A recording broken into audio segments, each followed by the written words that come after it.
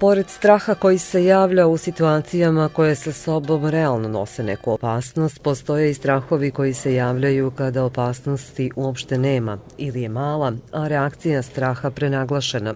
Nerealni ili preterani strah koji se javlja u okviru anksioznih poremećaja otežava normalan život, remeti kvalitet života, utiče na radne sposobnosti. Ono što je negativna strana straha jeste da, a o tome nažalost vrlo malo razmišljamo, imajući strah i praktično bolujući od preterane količine straha, ja svojoj situaciji apsolutno ne mogu da pomognem ni svojoj situaciji, a nekmo li sebi. Učenje crkve jeste da zapravo strah u suštini predstavlja nedostatak vere i poverenja.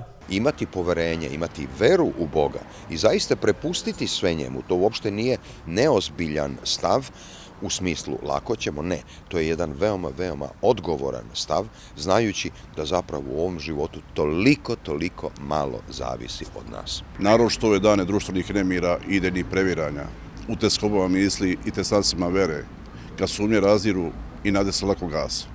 Hristos nam je stoga danas potrebni više od hleba i vode, od vazduha i svetla, jer u njemu nalazimo sve, a bez njega mi smo kao trska koja se na vetru ljulja. Jedan od razloga koji uslovljavaju postojanje mnogih strahova i fobija jeste otuđenost.